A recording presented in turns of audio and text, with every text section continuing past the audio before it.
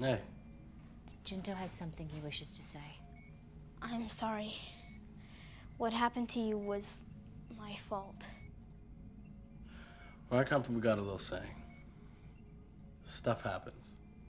Actually, it's, it's a little different, but you didn't mean for this to happen, did you? You're a good kid. You weren't doing anything wrong, which means this isn't your fault, okay?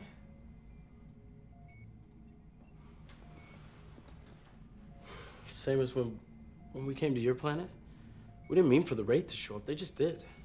That's why you're here. Your, your home was destroyed. You almost lost your dad. I don't remember you getting mad at me over that. Stuff happens.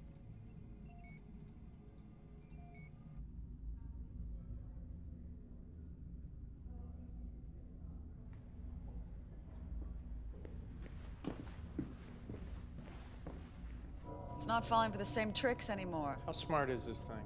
Rodney? I don't know, but this is much simpler than I thought. It's kind of like a mousetrap. This button here causes the device to emit an energy signature that attracts the creature. This one shuts it in. Now, the only downside is it looks like uh, someone's actually gonna have to be here to press the buttons. I'll do it. Okay. Wait a minute, Rodney.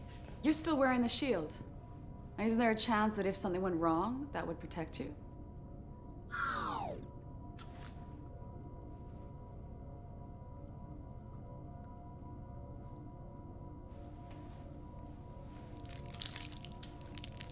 Hmm. I had a feeling. What do you mean? How are you feeling about what? You think I wanted to come up just now? Or you think I'm scared? I'm not scared. I'll stay. I'll do this. No, that's okay. You might faint again. Look, it, it's just not working anymore. That's look. She doesn't work on you either. Look, I just meant that it wasn't Well, gonna let you die. It is just a coincidence that it happened to stop working now. I need a drink. Go.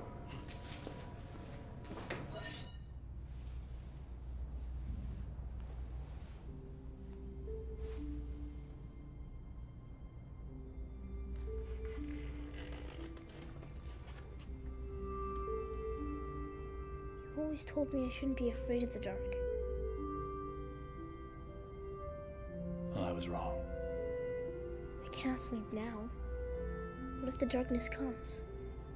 It won't.